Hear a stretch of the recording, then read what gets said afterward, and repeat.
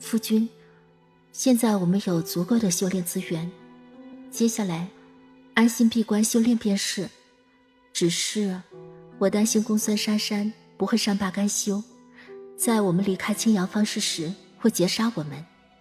若我们不离开青阳方氏，倘若公孙珊珊按下毒手，我们更危险。沈素冰忧心忡忡的声音传来，谭云不动声色。我的傻冰冰啊，我们有沐风神王给的人尊极品神舟，此神舟以我境界驾驭，速度已媲美九等半圣。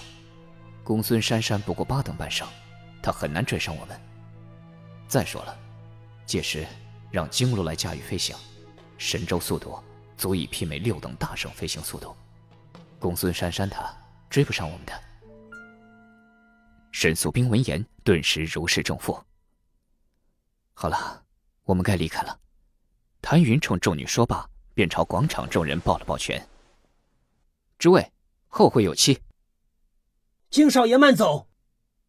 金少爷，今后您若还有此等逆天神药，可得再回来造福我们呐！众人纷纷冲谭云抱拳，目送谭云他们飞出青阳方室。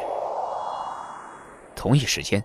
万金神宝殿六楼雅阁，盘膝而坐的公孙珊珊蓦然睁开双眼，眼神中透露出冷冽的杀意。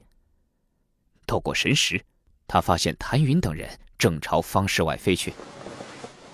公孙珊珊起身下榻，迈出雅阁，看着宫后门外的王气，现今都要离开青阳方室了，你留在这里看着店铺，本小姐去将他们通通杀了。话音方落。公孙珊珊便在六楼内凭空消失。一刻后，谭云带众人离开方室，飞落在李渊跟前。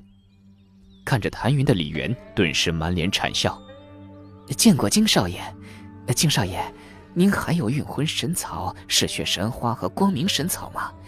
若有的话，我能否拿天神拳和您换取一些？”“当然有，给你留着呢。”“谢谢金少爷。”不过不能在这儿给你，否则被别人发现，恐怕又要和我交易了。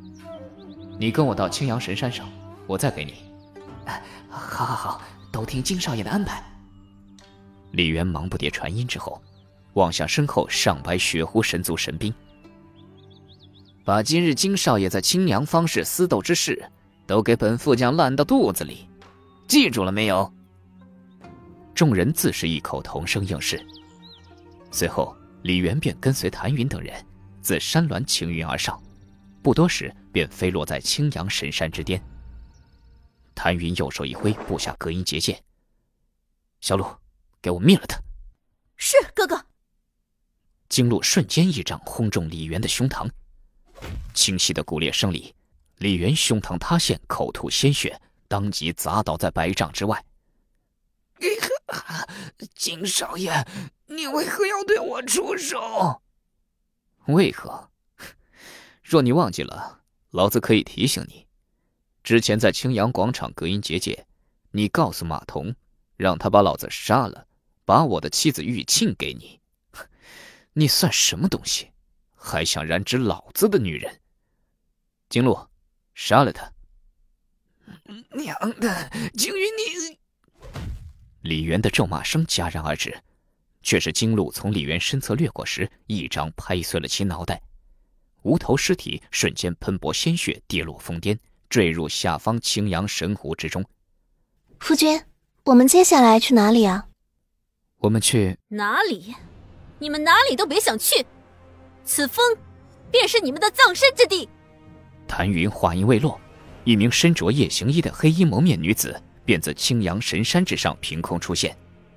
尽管对方黑纱遮面，但从声音，谭云等人就能猜到来人正是公孙珊珊。公孙珊珊之所以蒙面，自然是不想让人发现是自己对谭云他们出手，以免节外生枝。哼，公孙珊珊，想杀我们，就看你有没有那个能耐了。谭云冷笑间，仙界一闪，一道流光钻出仙界。便自疯癫化作一艘神舟。就在谭云等人掠上神舟之际，公孙珊珊体内澎湃出浩瀚的风雷半圣之力。他持剑手腕旋动之间，道道万丈剑芒便撕裂云海，斩向谭云。千钧一发之际，谭云驾驭神舟，若闪电般消失在公孙珊珊的视线里。好快的速度！姓金的，你是逃不掉的。公孙珊珊峨眉紧蹙，瀑布般的发丝舞动之间，神识恍若无形潮水，笼罩住逃到八万仙里开外的谭云等人。下一刻，公孙珊珊亦是唤出一艘晶莹剔透的神舟，随即飘落神舟之上，驾驭神舟追向谭云。正驾驭神舟逃窜的谭云心头一沉，他发现对方神舟的速度比自己的速度竟快了将近六成。小鲁，他的神舟虽为六阶上品神器，不过由于他境界高，他已将神招的速度提升到了极致。这里你修为最高，你来驾驭。金鹿不敢怠慢，当即驾驭神舟，飞行速度顿时暴增。但谭云等人脸上却没有半丝喜色。因为即便金鹿驾驭，速度还是比公孙珊珊的慢上了些许。夫君，这样下去，我们迟早会被追上，怎么办？公孙若曦神情担忧，其他人亦是如此。这时，唐木易忽然在神州上布下了隔音结界。夫君，我们返回不朽古神城，然后躲到不朽神府。